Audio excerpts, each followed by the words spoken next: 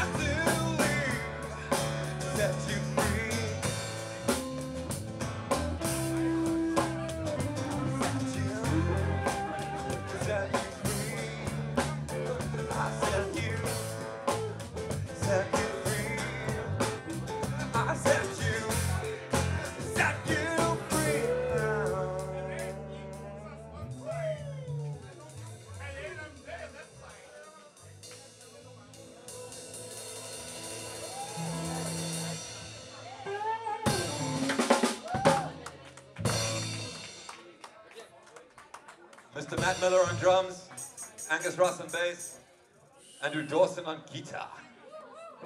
And I'm Stephen Daniel.